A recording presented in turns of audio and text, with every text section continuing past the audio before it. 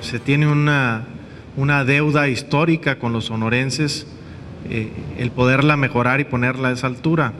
Desde que llegué yo a mi gobierno me he dedicado a hacer eso precisamente, a provocar eh, que las inversiones atrasadas del Estado se aterricen.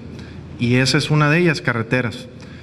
No te quiero quitar ingresos, ¿por qué no buscamos un esquema? Y el que mejor encontramos es darle libre tránsito a los sonorenses, no te va a afectar el bolsillo, no te va a afectar los ingresos de una forma eh, que te pueda perjudicar, y así sí vamos a solucionar el problema.